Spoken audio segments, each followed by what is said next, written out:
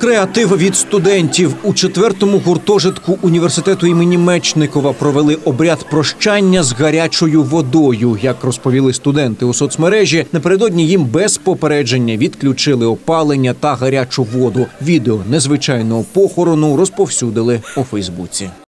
Еще словно бы вчера мы все дружно плескались в прекрасной и теплой воде. Она облетала нас своими струями, как будто бы в раю.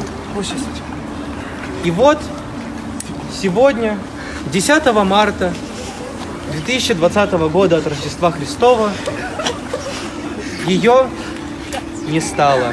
Я так любила тебя. Ты дарила мне чистые волосы каждый день. Мне не приходилось ходить с ведром. Я надеялась, что мы всегда будем вместе.